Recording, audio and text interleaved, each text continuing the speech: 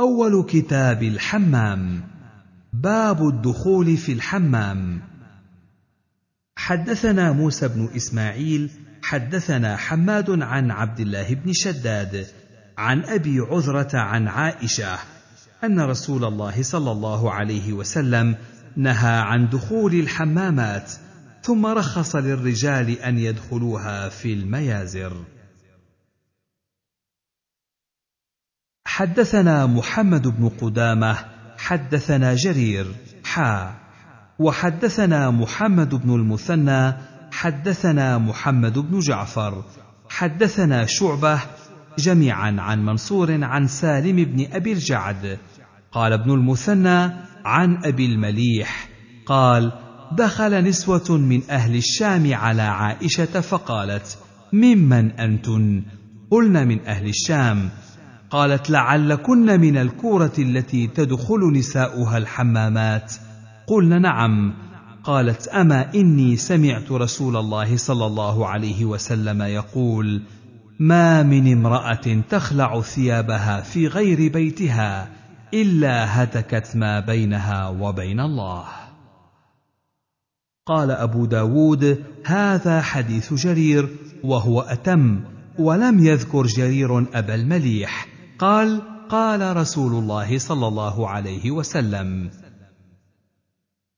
حدثنا أحمد بن يونس حدثنا زهير حدثنا عبد الرحمن بن زياد بن أنعم عن عبد الرحمن بن رافع عن عبد الله بن عمرو أن رسول الله صلى الله عليه وسلم قال إنها ستفتح لكم أرض العجم وستجدون فيها بيوتا يقال لها الحمامات.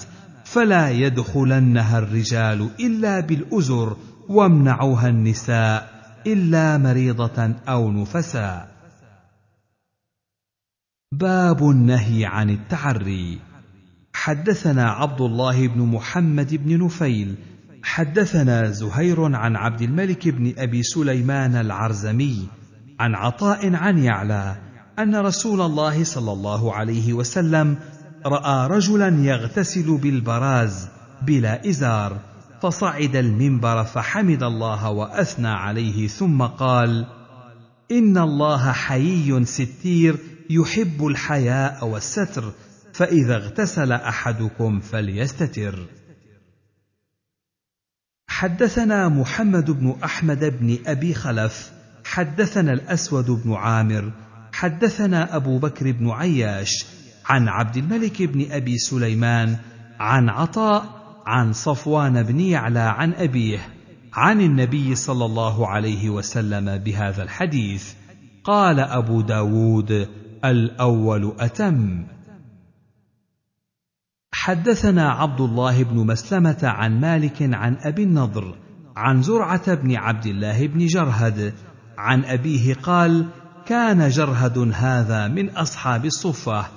أنه قال جلس رسول الله صلى الله عليه وسلم عندنا وفخذي منكشفة. فقال أما علمت أن الفخذ عوراه حدثنا علي بن سهل الرملي حدثنا حجاج عن ابن جريج قال أخبرت عن حبيب بن أبي ثابت عن عاصم بن ضمرة عن علي قال قال رسول الله صلى الله عليه وسلم لا تكشف فخذك ولا تنظر إلى فخذ حي ولا ميت.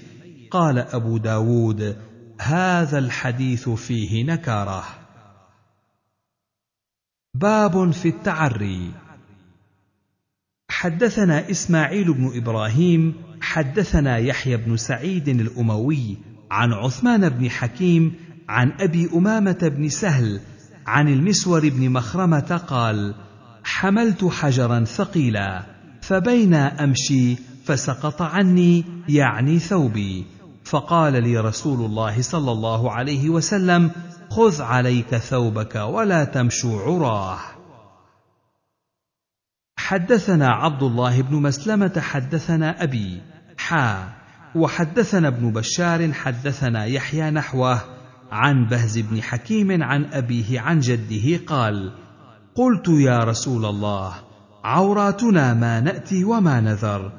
قال احفظ عورتك إلا من زوجتك أو ما ملكت يمينك. قال قلت يا رسول الله إذا كان القوم بعضهم في بعض. قال إن استطعت ألا يرينها أحد فلا يرينها. قال قلت يا رسول الله إذا كان أحدنا خاليا قال الله أحق أن يستحيا منه من الناس. حدثنا عبد الرحمن بن إبراهيم حدثنا ابن أبي فديك عن الضحاك بن عثمان عن زيد بن أسلم عن عبد الرحمن بن أبي سعيد الخدري عن أبيه عن النبي صلى الله عليه وسلم قال لا ينظر الرجل إلى عرية الرجل ولا المرأة إلى عرية المرأة ولا يفضي الرجل إلى الرجل في ثوب واحد ولا تفضي المرأة إلى المرأة في ثوب.